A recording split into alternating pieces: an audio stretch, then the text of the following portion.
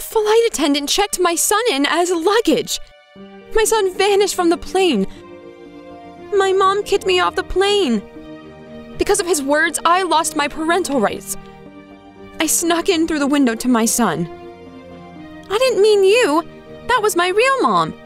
I didn't abandon my son. She kidnapped him because she was barren. Now, we need money for emergency surgery.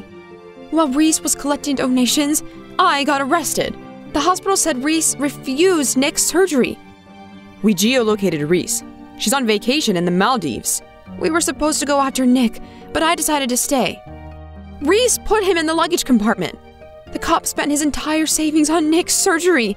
As soon as Nick recovered, we flew on vacation. The flight attendant was the evil Reese again. This time, she was arrested. My husband saw to it. What adventures have you had on planes?